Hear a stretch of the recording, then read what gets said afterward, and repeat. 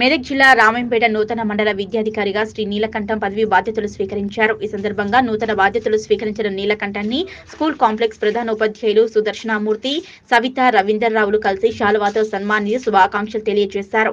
ఈ సందర్భంగా నూతన ఎంఈఓ నీలకంఠం మీడియాతో మాట్లాడుతూ త్వరలో మండలంలోని ప్రధాన ఉపాధ్యాయులకు సమావేశం నిర్వహించడం జరుగుతుంది. సిఆర్పీల సహకారంతో ప్రతి పాఠశాలను సందర్శించి పాఠశాలల్లో విద్యాభివృద్ధికి కృషి చేస్తానని నూతన ఎంఈఓ నీలకంఠం తెలిపారు. రామన్పేట రామాయణపేట మండలం విద్యార్థి ఏంటంటే మండలంలో ఉన్నటువంటి పాఠశాలలో ఉన్నటువంటి ప్రధాన ఉపాధ్యాయుల సమావేశాన్ని త్వరలో ఏర్పాటు చేస్తాం. అంతకంటే ముందుగా సిఆర్పి ద్వారా ప్రతిరోజు పాఠశాల సందర్శించేసి ప్రతి పాఠశాల చక్కగా నడవడానికి నేను శాశ్వత ప్రయత్నం చేస్తాను. అదేవిధంగా ముఖ్యంగా కాంప్లెక్స్ ప్రధాన ఉపాధ్యాయుల సహకారంతో సిఆర్పి యొక్క సహకారంతో మండలంలో ఎక్కడ కూడా సమస్య లేకుండా హండ్రెడ్ పర్సెంట్గా విద్యా అభివృద్ధికి నేను తోడ్పడతానని తెలియజేస్తాను.